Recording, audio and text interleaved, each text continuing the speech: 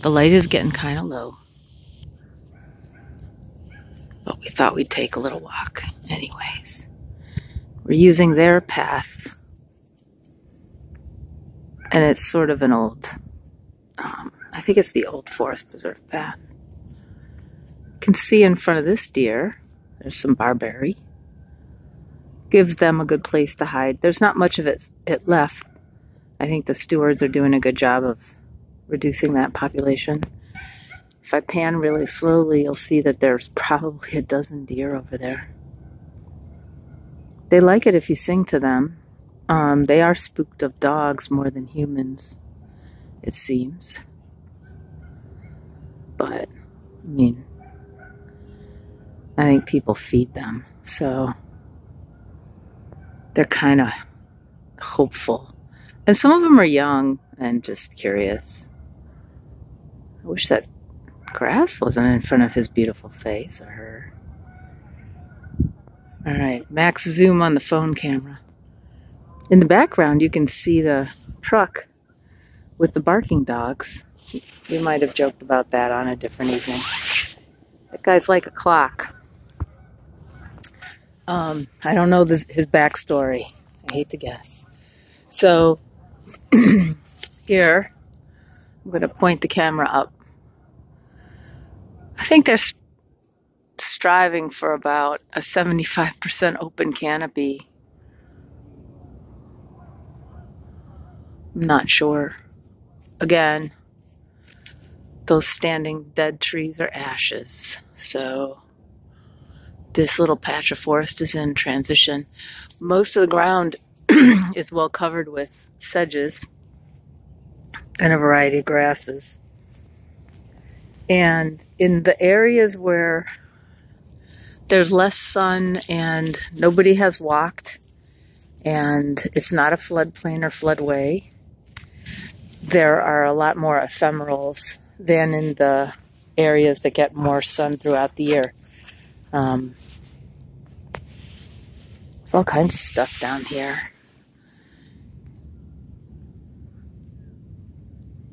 Everything from orchard grass to ramps at this point.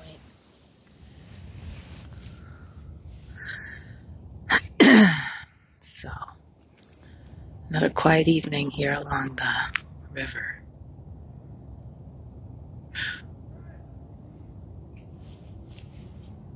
We think this grass might be Elymus virginicus with the tops that you can see. However, this grass with the old seed head is orchard grass. And I'm trying to pay close attention to the orchard grass because it's pretty common in feral farmlands European um, grazing and hay grass. it's everywhere. It's kind of hard to kill. And I'm not sure killing it is the answer. I think a better answer is patience and competition. But every situation is different.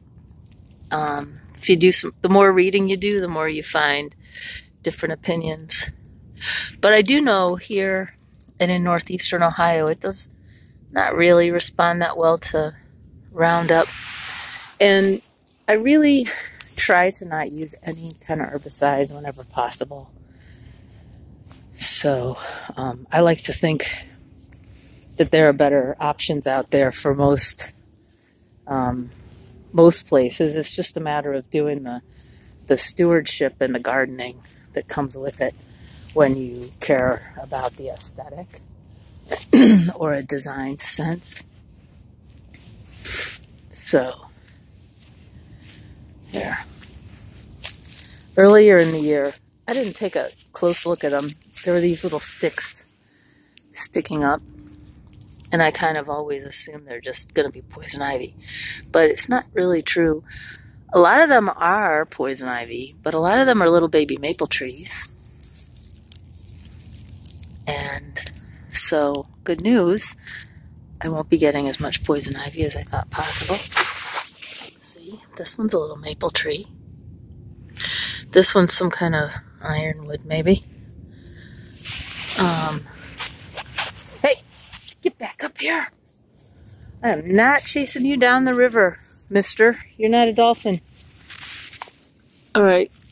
Um, some beautiful sedges. Carex pennsylvanica, probably. Um, there was a really interesting place where it was all this curly, dry, low stuff. I think it might have been curly wood sedge, actually. I wouldn't dare give anyone the impression that I'm an expert on sedges because what you find out is you think you kind of know about sedges, and then you find out that there are oh so very many more sedges than you ever thought. So, um, that's that situation. But look at how nature does not allow any empty ground except for, you know, the little tracks, the little paths, game paths.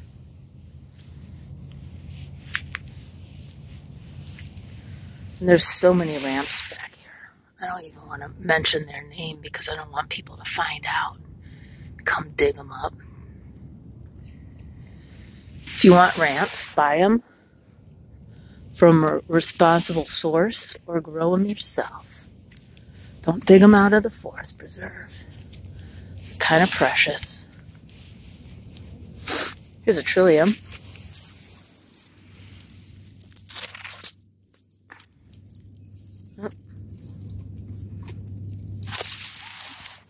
Stands of those around in this woods, but mostly it's more open than they like at this point. All right, signing off.